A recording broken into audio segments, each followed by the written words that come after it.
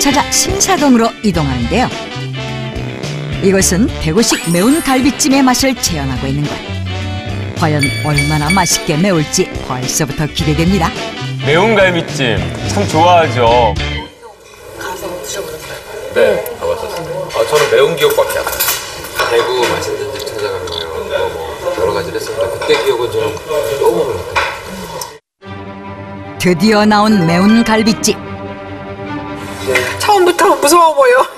무서워 보여 어떻게? 갈비를 뒤덮을 만큼의 걸쭉한 매운 양념. 냄새가 아 냄새 여기까지 나는 것 같네. 그리고 양푼에 나오는 것까지 대구식 매운 갈비찜과 비슷합니다. 양념을 좀, 음, 양념을 좀 먼저 먹어. 코끝으로 전해져 오는 매운 맛. 그렇다면 양념의 주 재료는 뭘지 요리 연구가 김수진 씨가 양념의 맛을 보는데요.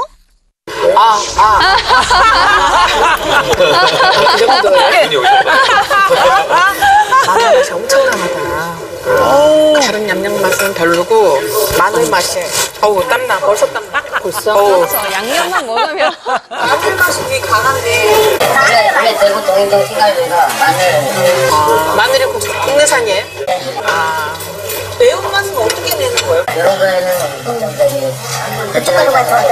베트남 고춧가루. 베트남 고추를 써서 매운맛을 더한다는 이 집의 가장 중요한 갈비 맛을 살펴봅니다. 생각보다 덜 매운데 저는 이거는 생각보다 덜 맵네요 음. 아까 양념장을 딱 먹었을 때는 입안에서 아아아 막 소리가 나는데 갈비를 먹었을 때는 좀 덜해 그냥 매콤하다 이 정도는 먹을 만은 해 갈비를 푹 썰면서 마지막에 양념장에다가 확, 응. 확 볶았어 혹시 갈비 육즙이 너무 빠져나간 것 같지 않아요? 여기서 육즙을 얘기할 단계는 아닌 것 같아. 그런 그 육즙을 얘기하기에는 상당히 수준 있는 갈비를 먹으면서 얘기를 해야 될 것 같고요. 이거는요, 좋은 고기. 사실 뭐 이렇게 자극적인 양념을 쓸 때는 좋은 고기를 쓸 필요가 없는 거예요. 그렇죠 맞아요 좋은 고기 맛을 이렇게 양념으로 줄 필요가 없습니다.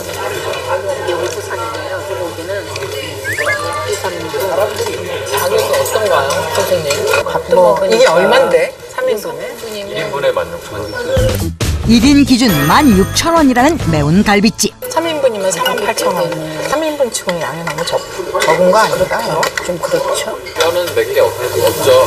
진짜 이렇게 갈비 때는요. 제가 하나 먹었고 저도 하나 한, 한 두세 개밖에 없는 거예요.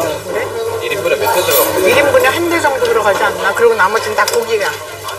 그리고 이게 고기를 섞은 것 같아요. 고기를 섞었다? 어떤 거는 되게 부드럽고 어떤 거는 질기고 지금 한 세 가지 정도 텍스처가 틀려요. 전부 다 갈비가 아니야. 음, 갈비는 요거만 갈비 몇 개 몇 대 들어있고 요런 거는 지금 뭐 우둔살이나 아니면 양념 어, 어. 왜냐면 이게 장조림 결이 찢어지는 게 기름기가 없어요. 우둔살 자체는. 장조림만이에요. 그리고 가격이 또 싸. 모르는 건데 가격이 싸요. 수요가 많이 없기 때문에. 아무래도 갈비만 하기에는 단가가 굉장히 높아지겠죠. 그렇죠. 우선 대구보다 여기가 나아요. 대구에서는 정말 마, 매운 지역만 나거든요. 진짜 대구에서는 매워요. 근데 이게 젊은 사람들이 굉장히 좋아할 만한 맵고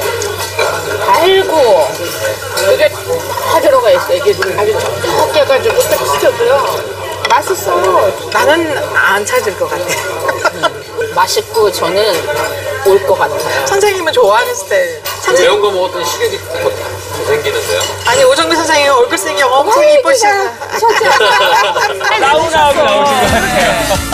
매콤달콤한 맛이 뒤섞여 입맛을 돋궈주는 매운 갈비찜. 그러나 너무 강한 마늘 맛이 조금은 아쉬웠다는